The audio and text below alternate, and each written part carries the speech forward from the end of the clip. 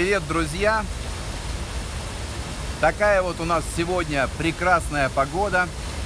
Час дня. Я еще и в джакузи залез прогреть свои мышцы ног, суставы после двух дней подряд игр в воротах, хоккей. Меня хорошо слышно, потому что здесь сейчас шумят, пузырьки шумят в джакузи и водопад шумит. Но надеюсь, меня хорошо слышно. Если у вас есть какие-то вопросы, присылайте, буду отвечать, пообщаемся. Всегда рад с вами пообщаться, вы это знаете. Ну что хочется сказать в начале, в самом. Очень часто приходится слышать что люди ищут какие-то волшебные методики, волшебные секреты, какие-то тайны. И в этом самом, не находя никаких волшебных пилюль, очень просто находят себе отговорки для того, чтобы не тренироваться.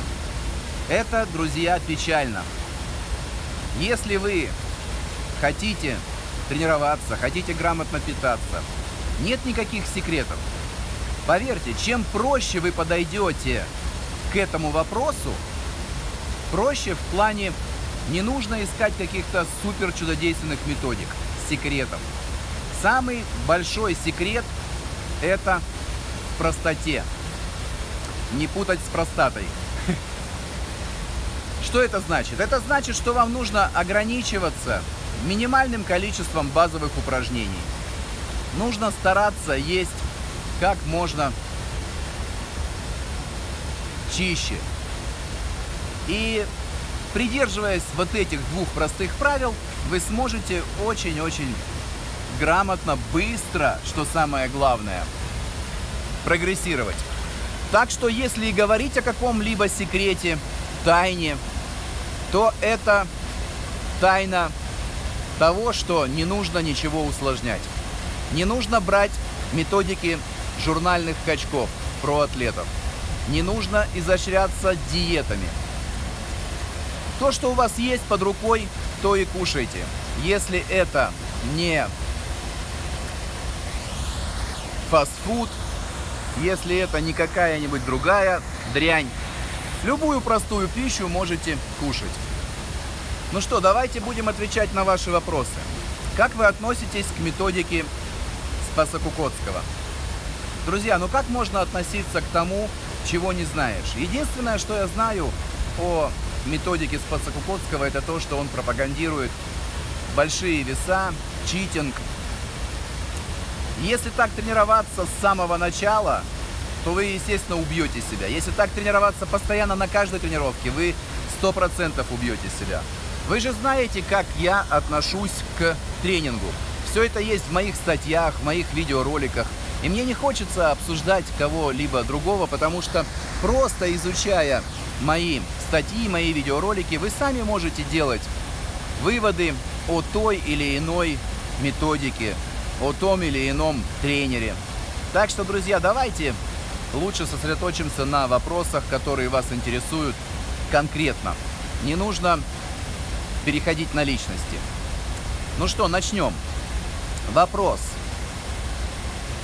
Мне тренер в зале говорит, мол, с большими весами мне не нужно работать, чтобы сушиться. Нужно работать с маленькими весами в сетах. Я хочу ваше мнение услышать. Друзья, э, кто хочет более подробно услышать об этом, почитайте мои статьи на сайте hmgym.ru, где я подробно описываю советы вот от таких горе-тренеров. Я вам настоятельно рекомендую бросить этого тренера. Это не тренер, это безграмотный человек. Почему? Объясняю, обосновываю. Не бывает на самом деле тренировок на жиросжигание. На жиросжигание, на похудение мы можем с вами только грамотно питаться. В принципе, любая тренировка – это расход калорий, это помощь вашему организму Э, в создании дефицита калорий и, что самое главное, в удержании мышечной массы. Но давайте представим, ведь мы с вами все натуральные атлеты, натурально тренирующиеся люди, особенно девчонки. Я уверен, что 99,9% девочек, которые смотрят меня, не принимают и никогда не будут принимать никакие анаболические андрогенные стероиды. Так вот, если вы будете держать диету, если вы будете заниматься кардио классическим, и при этом у вас силовые ваши тренировки будут в многоповторном режиме, то вы потеряете очень много мышечной массы.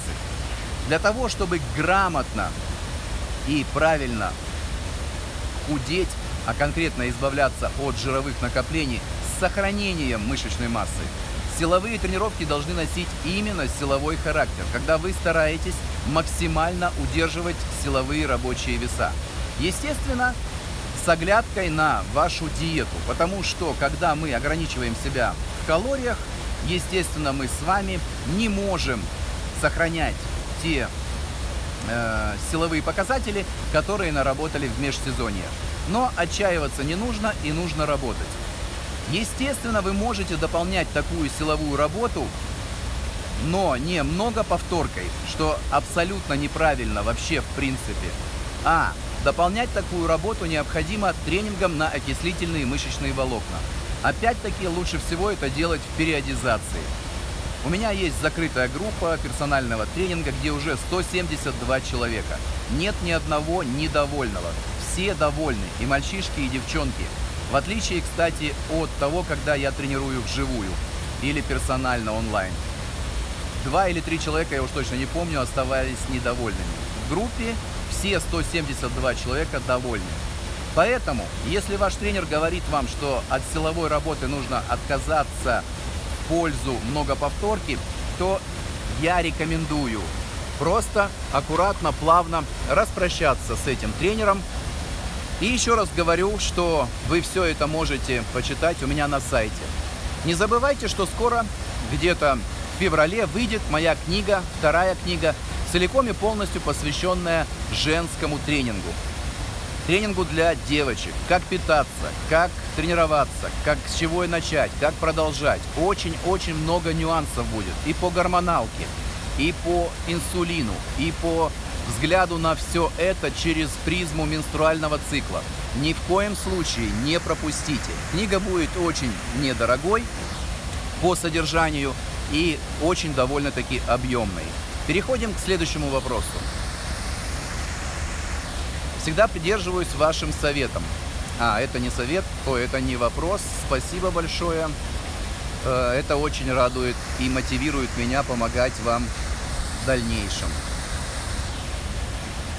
Вот-вот, тренируюсь без тренера, тренируюсь только по вашим руководствам. Спасибо, девчонки мальчишки. Не забывайте, что если вы хотите бесплатно вступить в мою закрытую группу или получить год персонального тренинга тоже абсолютно бесплатно. Есть сейчас перед Новым годом и в январе это все будет продолжаться масса возможностей. Первый – это придумать название для моей новой книги о женском тренинге. А вторая и очень интересная – это снять видео с тестовой тренировкой. Найдите ее и прислать мне на почту. Все, кто пришлют тестовые свои тренировки бесплатно получат доступ в закрытую группу тренировок, основанную на принципе различия мышечных волокон и строящуюся от этого периодизацию. Но то видео, которое наберет больше всего лайков, ваше видео, тот человек получит отдельно год бесплатной онлайн поддержки от меня в плане вопросов питания, вопросов тренинга и восстановления. Присылайте, отдельно это будет конкурс для парней и отдельно для девчонок. Коротко скажу, в чем заключается э, суть тестовой тренировки. Она очень и очень полезна будет для любого тренирующегося. Просто хотя бы для того, чтобы определить, насколько удачно ваша программа тренинга, либо насколько удачно вы ее используете. Все очень просто. Четыре упражнения. Перед тем, как пройти тестовую тренировку, необходимо отдохнуть полностью от тренинга 3-4 дня. И после разминки нужно выставить на штангу вес собственного тела для парней и 70-75% для девчонок. Попытаться сделать один подход на максимально возможное количество повторений. Максимально возможное количество повторений присесть со штангой весом собственного тела. Записать эту цифру, к примеру, это будет 32 повторения. Одно повторение – это одно очко. Зачем отдыхаете где-то 10 минут, может быть кому-то понадобится больше, и выставляете на штангу опять-таки вес вашего тела, если вы парень для девушек поменьше, и работаете в жиме лежа, также на максимально возможное количество повторений. Записываем полученную цифру. Это очки, это количество баллов. Затем отдыхаете 10 минут и выполняете подтягивания. Уже просто с весом собственного тела на количество повторений. И после 10-минутного отдыха заключительное упражнение – это отжимание от брусьев. Так же, как и в подтягиваниях, на максимально возможное количество повторений. Друзья, снимайте такие ролики, присылайте мне на почту. Я все эти ролики буду выкладывать, и победители получат шикарные призы. А кто-то получит даже, возможно, от меня мою книгу с автографом. Ну что, переходим дальше к вопросам, если они есть. Болит спина. Подозреваю грыжу. О, девчонки и мальчишки, по грыжам, по протрузиям, по болям в спине. У меня больше всего статей, видеороликов. Обязательно найдите. У меня 5 мощных больших статей, как я избавился от проблем с грыжей. Лечили, лечили меня врачи три года, мне становилось только хуже. Как избавиться от этого? Как предотвратить появление межпозвоночной грыжи, межпозвонковой, правильно говорить, э, протрузий и вообще никогда не чувствовать боли в спине? Обо всем об этом у меня есть ролики, есть специальная гимнастика. Необходимо делать экстензии в начале тренинга и гиперэкстензии в конце тренинга. Обязательно изучите. Без МРТ вы никак, к сожалению, не поймете. Но начните делать мою гимнастику, мои упражнения, и уже через неделю вам станет гораздо легче. И тогда какая разница, что там у вас? Следующее. А этот тренер в зале постоянно говорит, что с большими весами тренироваться женщинам не надо. И говорит, что у меня и так то большие мышцы уже. А чтобы подсушиться, жирок убрать надо малыми весами кроссфит режиме. Ну, большой привет от меня этому тренеру, тренеру-дебилу. Кроссфит режим, когда вы выполняете э, упражнение за упражнением, подход за подходом без отдыха, убивает вас.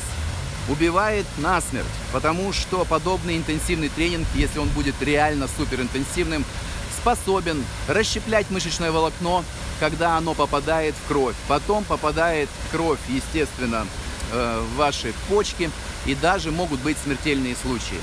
Друзья, не спрашивайте меня, что говорит ваш тренер. Изучайте мои статьи, мои видеоролики.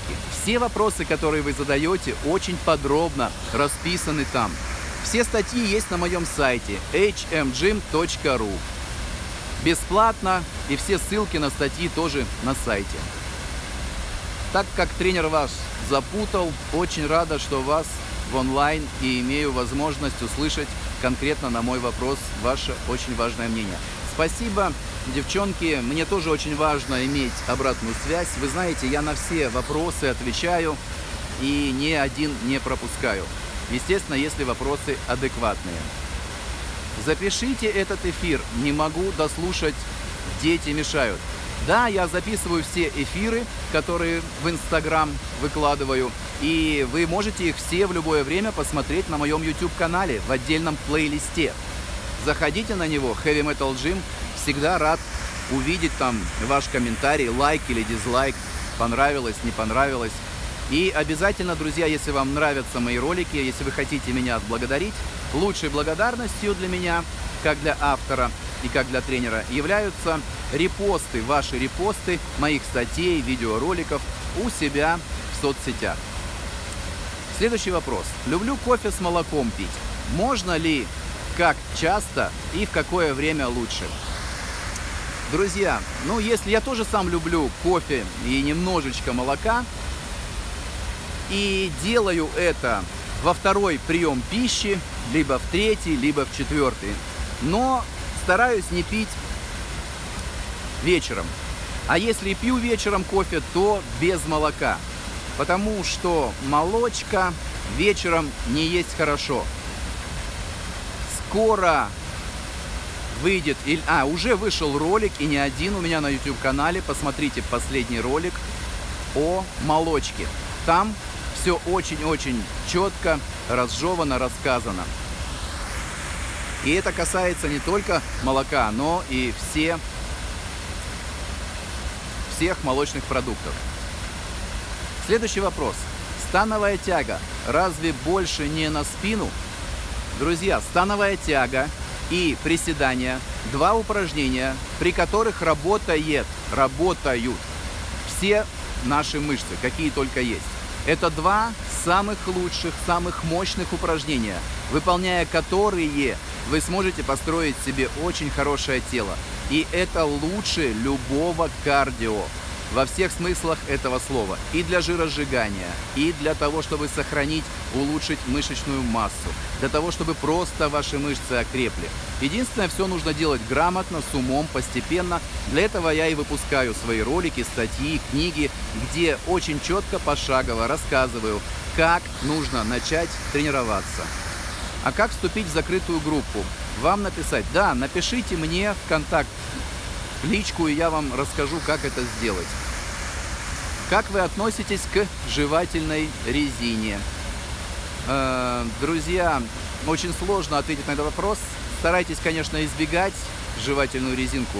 Говорят, она не очень хороша для пломб. И что самое главное, в основном там используют сахарозаменители, что не есть хорошо. Это очень-очень важно. Поэтому, если выбираете резинки жевательные, смотрите, чтобы они хотя бы были там со стевией. Но ни в коем случае не берите со спартамом или еще с чем-то. А в основном все жевательные резинки это спартам.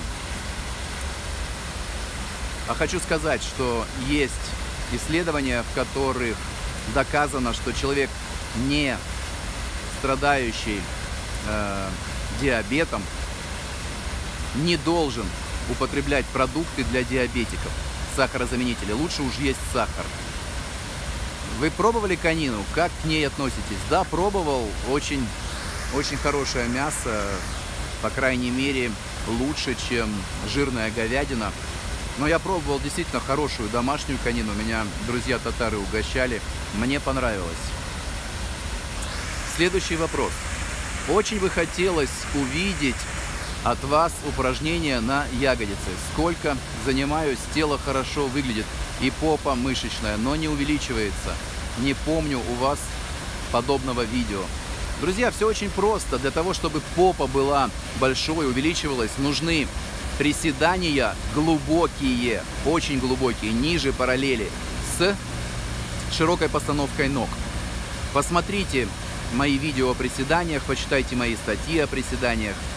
А после приседа делайте румынскую тягу. В другой день делайте становую тягу и русские наклоны. Если вы уже опытный спортсмен, можете, девчонки, добавить ягодичные мостики в каждую из тренировок. На одной тренировке делая с большим весом на 6, 8, 10 повторений, а в другой тренинг делать данное упражнение на 15-20 повторений, соответственно, с меньшим весом. И между такими тренировками вставлять еще тренинг на окислительные мышечные волокна. Когда вы будете выполнять данное движение, ягодичный мостик, в медленном режиме 30-40 секунд работы, 30-40 секунд отдыха. С такой помощью, с таким набором упражнений вы просто неизбежно через полгода обретете самую красивую сексуальную попку. Это я вам гарантирую. Спасибо, Егор, большое за внимание. Наставление я уже в очень хорошей форме. Результат на лицо. Буду продолжать и ни от кого не слушать. Большое вам на здоровье. Если вы снимете ролик о себе, как вы тренируетесь и тестовую тренировку, я лично буду вам очень благодарен. И поверьте, очень многие девочки будут вам благодарны потому что это огромная мотивация. Мы выложим ваш ролик на моем YouTube-канале. так что жду от вас видео. Я боюсь становую делать, занимаюсь без тренера. Знаю, что надо, но боюсь травмироваться. Совершенно хорошо, верно, что боитесь. Поэтому у меня есть много статей и видео. Изучите сначала матчасть, так называемую, чтобы вы были гуру в плане теории, техники. Затем берете телефон, видеокамеру и снимаете себя со стороны, как вы делаете становую тягу, с очень-очень незначительным весом. С разных сторон, с разных ракурсов. Поверьте, это будет лучше, чем работа со многими тренерами. Так как вы будете уже обладать мощным базовым понятием знаний о технике становой тяги, вы увидите, если у вас есть какие-то ошибки, если есть какие-то нюансы, над которыми нужно поработать. Я вам гарантирую, это будет лучшая работа, чем с 90% тренеров, которые сейчас работают в тренажерных залах. Попробуйте и отпишитесь. Какие упражнения лучше на дельты, на ваш взгляд? На мой взгляд, на дельты самые лучшие упражнения это на заднюю дельту работа в пэкдек, обратном пэкдеке, это тренажер Butterfly бабочка. Затем одно из лучших, самое лучшее, выполнение экстензий, разгибания спины с одновременным разведением гантелей в стороны. Попробуйте, вы полюбите это упражнение как ничто другое. Оно в моем списке наряду с приседами и становой тягой. А также, когда вы ложитесь грудью на скамью под наклоном 30-35 градусов и начинаете выполнять отведение, разведение гантелей в стороны на заднюю дельту. Здесь я люблю поработать уже с реально большими весами, не боясь травмироваться. Следующее упражнение для дельт, на мой взгляд, лучшее жимы гантелей и разведение гантелей в стороны. Это на боковую дельту. И обычные подъемы перед собой на переднюю дельту. На переднюю дельту сильно много работы делать не нужно, потому что она работает во всех жимах. И на грудные мышцы, и во всех жимах на дельты. Следующий вопрос. Делаю ниже параллели и глубоко, с широкой постановкой. Мне сказали, что нужно массу увеличивать, чтобы росла. Э, не совсем понял вопрос. Если хотите, чтобы я проконтролировал вашу технику, снимите себя со стороны, как вы делаете упражнения с разных ракурсов, только не вертикальное видео, пожалуйста. Пришлите мне его в личку, и я скажу, есть ли у вас ошибки. А вы даже против кардио при подготовке на соревнованиях по бикини – да, девчонки, я против классического кардио в принципе. Помните, я тренировал Таню Федоричеву с канала Т-Джим? Помните, в какой она пришла в форме и какой она стала после всего 5 месяцев работы со мной?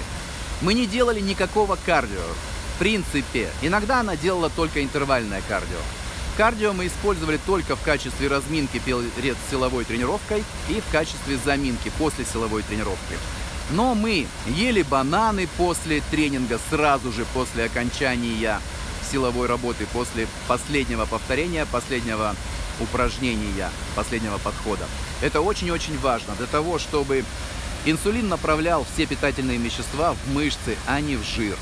И поэтому, если вы не принимаете никаких анаболических стероидов, то лучшее кардио, которое для вас может быть, это прогулки вечером с любимым человеком перед сном 30-40 минут.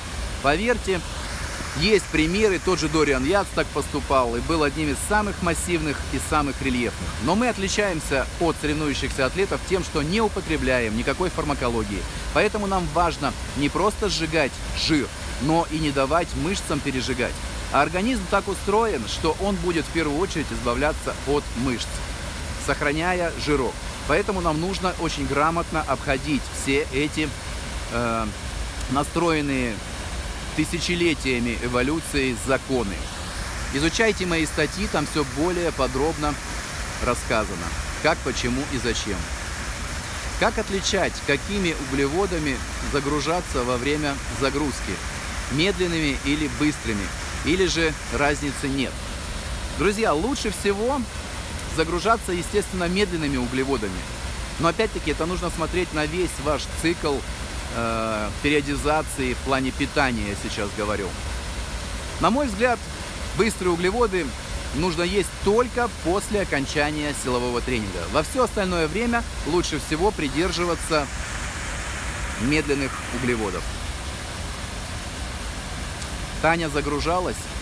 Э, мы с Татьяной делали всего один, я сейчас точно не помню, или два дня легкой загрузки перед соревнованиями. Но как таковой общепринятой загрузки мы не делали. Мы грамотно, правильно питались, мы не создавали супер рельеф. Как вы видели, фигура у нее была просто шикарная, отличная, на мой взгляд, лучшая на соревнованиях. Так что вы все это можете посмотреть в моих роликах. Я ведь свои ролики с Таней не удалил, они все есть на канале. Хорошо, я немного подсушусь и обязательно сниму видео. Девчонки, но эти отговорки все всегда приводят. Вы же сами говорите, что вы в прекрасной форме. Не стесняйтесь. Снимайте видео сейчас, присылайте. Когда подсушитесь, еще больше. Сделайте новый видеоролик, пришлете. Это будет еще одним поводом сделать видео и показать, насколько, как хорошо вы улучшаетесь от дня к дню. И мотивация для многих девчонок. При выполнении румынской тяги появляется межпозвонковая грыжа. Техника подвела. С помощью ваших видео и упражнений восстановился и вернулся к тренировкам, к любимым приседаниям. Спасибо. Да, на здоровье я очень часто получаю такие сообщения, что меня очень сильно радует. Уже больше тысячи человек благодаря моим советам. На самом деле методики это не мои, только у Югия есть свои методики. Я взял общепринятую практику из йоги, добавил практику грамотных пауэрлифтеров, делать постоянно в конце каждой тренировки гиперэкстензии, а от себя добавил только делать экстензии в начале каждого тренинга, периодизируя это все по принципу различных типов мышечных волокон. И, друзья, очень много подобных э, благодарностей я слышу, и сам благодарен себе, что начал все-таки это делать и приседаю, и тяну сейчас без опаски. Поэтому, если хотите поблагодарить, найдите мои статьи об этом, видеоролики и сделайте репост у себя в соцсетях. Я буду вам благодарен за это. А по какой схеме делаете интервальное кардио? Две минуты отдыха не слишком много. Нет, у меня есть статья подробная, где я расписываю, почему и как нужно отдыхать между мощными быстрыми выбеганиями именно 2 минуты. Это очень важно, если вы хотите сохранять здоровым свое сердце, вообще не гробить организм. Поэтому не всегда то, что больше, лучше. Всегда важнее качество. Помните об этом. А у вас есть статьи, как правильно перейти на питание с избытком калорий? Да, друзья, есть видео и статья о том, как правильно переходить вообще постепенно на правильное питание. Эти же принципы подходят и для того, кто хочет похудеть, избавиться от жира, для того, кто хочет набрать. Постепенность и плавность в любом изменении своей жизнедеятельности важнее всего. Именно для того, чтобы не навредить себе. Особенно если у вас очень большой избыточный вес. Помните об этом. А почему вы думаете, что после бананов инсулин будет именно в мышечные клетки отправлять питательные вещества, а не в жировые? Если хотите это все подробно понять, изучить, чтобы я здесь не затягивал на целый час, у меня есть статья «Инсулин». Изучите его, Потому что инсулин – это транспортный гормон, самый сильный анаболический гормон, который как раз-таки несет все питательные вещества во все клетки нашего организма. И от того, когда и как вы тренируетесь, когда и что вы едите, зависит, что и куда будет отправлять инсулин. И это, думаю, не я, это думают современные ведущие диетологи, подчеркиваю, спортивные диетологи, медики – Изучайте, все есть в открытом доступе. Как вы относитесь к тренингу на голодный желудок? Тренируюсь рано утром, за 2 часа. Поесть не могу. Ограничен по времени. Э, лучше, конечно, не тренироваться сразу после пробуждения, это вредно, но если я сам так делал, когда не было выхода, когда работал посменно, я тоже не ел перед тренировкой, либо выпивал легко усваиваемый коктейль из банана и протеина. И пока доходил, доезжал до работы, проходило где-то 40-45 минут. Но все-таки лучше потренироваться на пустой голодный желудок, чем на полный желудок. Кто пробовал, тот поймет почему. В выпадах, в ходьбе со штангой на плечах сколько достаточно делать шагов на каждую ногу. 10 шагов, 15 шагов. Такой диапазон повторений вы должны соблюдать. Вы советуете делать углеводные ямы? Да, я именно за то, чтобы питаться, будем так говорить, с углеводными ямами. Когда вы чередуете высокоуглеводные дни со среднеуглеводными днями и низкоуглеводными днями, организм не включает никакие стрессовые гормоны, чтобы удержать накопленный жирок и избавляться от мышечной массы. Это самый лучший и проверенный способ. Гораздо безопаснее, вообще безопаснее, чем отказ от углеводов, что сейчас является полной глупостью и неправильным подходом к питанию. Когда делаешь становую тягу на прямых ногах, верхней точке надо ягодичные зажимать, как Яна Кузнецова показывает. Современные американские фитнес-дивы работают так и в приседаниях, и в румынских тягах, и в становых тягах. Я этого крайне не рекомендую делать ни в одном из упражнений. Этого не нужно делать. Такое зажимание дополнительно ягодиц нужно делать в более изолированных упражнениях, таких как ягодичные мостики, отведение ноги, э, разведение ног в тренажере, если вы их делаете. Но в приседах, особенно в румынских тягах, не нужно этого делать. И еще обращаю ваше внимание, старайтесь не называть румынскую тягу тягой на прямых ногах. Это многих сбивает с толку. Никогда нельзя делать никакую тягу на прямых ногах. Коленки всегда должны оставаться в согнутом положении, что на самом деле и более эффективно, нежели если вы будете распрямлять колени целиком и полностью. Но самое главное, это безопасно.